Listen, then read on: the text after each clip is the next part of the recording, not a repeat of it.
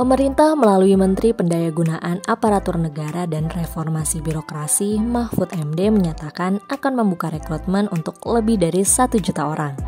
Dalam rekrutmen kali ini akan diprioritaskan untuk pegawai pemerintah dengan perjanjian kerja atau P3K. Lalu bagaimana rincian informasi dari pembukaan rekrutmen CPNS dan P3K ini? Sebelum tonton videonya, jangan lupa like, komen, subscribe, share, dan nyalakan lonceng notifikasi supaya tidak ketinggalan video terbaru dari Nakita.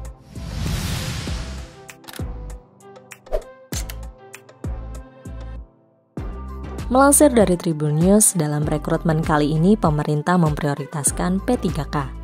Dalam formasi P3K nantinya akan dibagi menjadi dua MAMS, yaitu untuk pemerintah pusat sebanyak 93.000 dan pemerintah daerah sebanyak 94.000 orang.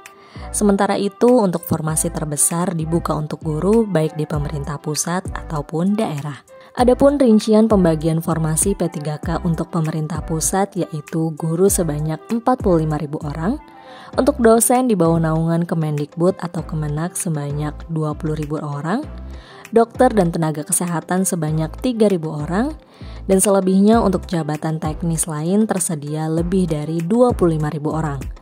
Sementara untuk pemerintah daerah terlihat mengutamakan formasi untuk guru, yaitu sebanyak 700.000 orang dan formasi fungsional lainnya lebih dari 180.000 orang. Sedangkan untuk CPNS akan didapatkan dari informasi sekolah kedinasan dan akan dibuka sebanyak lebih dari 8.000 formasi. Mengintip persyaratan CPNS sebelumnya, MOMS perlu menyiapkan fotokopi KTP, fotokopi ijazah beserta transkrip nilai, surat keterangan dari BNPT dari perguruan tinggi Moms berasal dan jangan lupa juga untuk siapkan pas foto ya Moms. Itu dia formasinya jika Moms berencana mengikuti CPNS dan P3K. Moms bisa pertimbangkan formasi mana yang ingin dimasuki. Jangan lupa untuk bekali dan persiapkan diri agar nanti bisa mengikuti CPNS atau P3K dengan baik dan lancar.